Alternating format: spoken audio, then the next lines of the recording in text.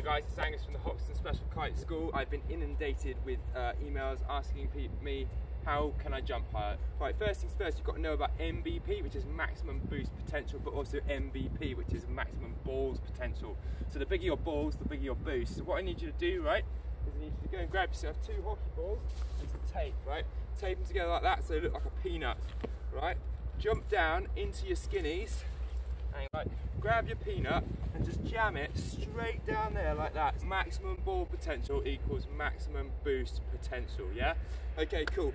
Next thing you're gonna need is obviously to be aware of the wind's direction. It's always changing. So I have an amazing ability for this. What I call these are wind tassels, all right? So what you're gonna do is you're just gonna strap these to your nips and this way, if the wind changes direction, you know, up, down, east, west, whatever, you're going to be well aware of it. Okay, in order to go a little bit higher, you're also going to need some help.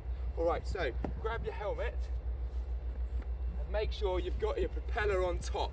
Okay, the propeller is going to help with soft landings, and also if you spin it up, it's going to give you a little bit more boost. Yeah. Okay, the last thing I want you to do, all right, is just jam your harness on that's it, like that. And prep yourself for the fire and forget kite. These are absolutely badass. All you do is just chuck them out behind you, and boom. Not even a bar needed, and that'll definitely give you at least another meter or so.